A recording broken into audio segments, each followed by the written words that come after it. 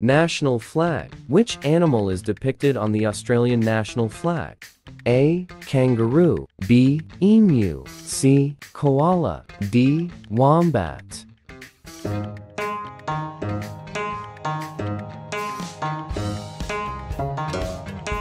The correct answer is A. Kangaroo.